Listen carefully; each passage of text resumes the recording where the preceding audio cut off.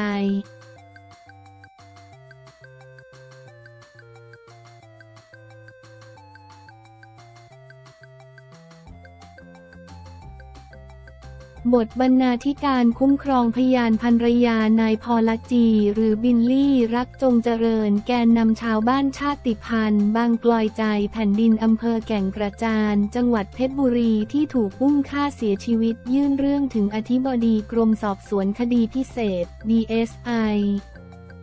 เพื่อขอให้ช่วยคุ้มครองพยานต่อไปด้วยก่อนหน้านี้เจ้าหน้าที่ DSI เดินทางไปพบภรรยานายบินลี่ แจ้งว่าจะสิ้นสุดการดูแลและคุ้มครองพยาน โดยให้เหตุผลว่าไม่ได้เป็นพยานปากสำคัญในคดีฆาตกรรมนายบิลลี่แล้ว แต่ฝ่ายพยานกลับเห็นว่าในฐานะที่เป็นโจทย์ร่วมฟ้องด้วยทำให้ต้องเดินทางไปฟังการพิจารณาคดีในชั้นศาล และยังต้องดำรงชีวิตอยู่ในพื้นที่ท่ามกลางความหวาดกลัว ประการสำคัญคือฝ่ายจำเลยทั้งสี่ คนยังรับราชการตามปกติทั้งยังมีตำแหน่งหน้าที่ใหญ่โตขึ้นด้วย จึงเกิดความหวั่นเกรงขณะนี้คดีการหายตัวไปของนายบินลี่ล่วงมานานถึง 9 ปี และนำไปสู่การฟ้องร้องคดีฆาตกรรม อยู่ในการพิจารณาของศาลอาญาคดีทุจริตและประพฤติมิชอบกลาง เนื่องจากฝ่ายจำเลยเป็นข้าราชการสี่คน ประกอบด้วยอดีตหัวหน้าอุทยานแห่งชาติแก่งกระจาน และเจ้าหน้าที่พิทักษ์ป่าผู้ใต้บังคับบัญชาอีกสามคนศาลกำหนดไต่สวนพยานโจทย์และจำเลยทั้งหมด 10 นัด แบ่งเป็นพยานโจทย23 ปาก และพยานจำเลย 9 ปากล่าสุดเหลือการไต่สวนอีก 8 นัด จะไปสิ้นสุดวันที่ 31 สิงหาคม 2566 แต่ถ้าไต่สวนพยานครบแล้วยังเห็นว่ามีความจำเป็นต้องสืบพยานเพิ่มเติมอีก ก็ขึ้นอยู่กับดุลพินิษของศาลพิจารณา ก่อนจะมีคำพิพากษาต่อไปคดีฆาตกรรมนายบินลี่แกนนำเรียกร้องสิทธิชาติพันธุ์กะเหรี่ยงบางกลอย ไม่ใช่แค่ความโกรธแค้นบาดหมางเฉพาะตัวส่วนบุคคล แต่เป็นผลต่อเนื่องจากการบังคับขับไล่ชาวบ้านหลายร้อยคนออกจากพื้นป่า ซึ่งบริเวณที่เป็นสถานที่พักอาศัย และแหล่งทำกินปลูกพืชไร่หมุนเวียนของชาวบ้านนั้น เป็นถิ่นฐานดั้งเดิมก่อนทางการประกาศเป็นอุทยานแห่งชาติแก่งกระจานปัจจุบันกลุ่มชาวบ้านบางกลอย รวมถึงครอบครัวนายบินลี่ยังได้รับความเดือดร้อน เพราะปัญหาที่ดินทำกิน โดยเฉพาะความต้องการกลับไปถิ่นอาศัยดั้งเดิมยังไม่ได้รับการแก้ไขอย่างถูกต้องและยั่งยืน เช่นเดียวกับคดีฆาตกรรมนายบินลี่ที่ยังรอคอยความยุติธรรม และการคุ้มครองพยานต่อไปจนกว่าคดีความจะสิ้นสุด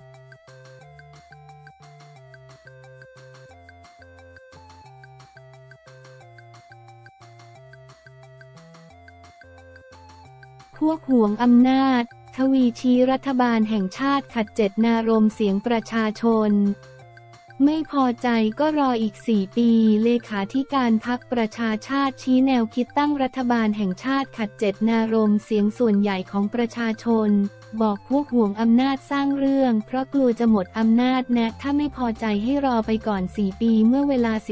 19.00นาฬิกา วันที่ 31 พฤษภาคม 2566 พันตำรวจเอกทวีสอดส่องเลขาธิการพักประชาชาติ ปช ให้สัมภาษณ์กรณีสมาชิกวุฒิสภา สว บางคนมีแนวคิดที่จะเสนอตั้งรัฐบาลแห่งชาติพันตำรวจเอกทวีระบุว่า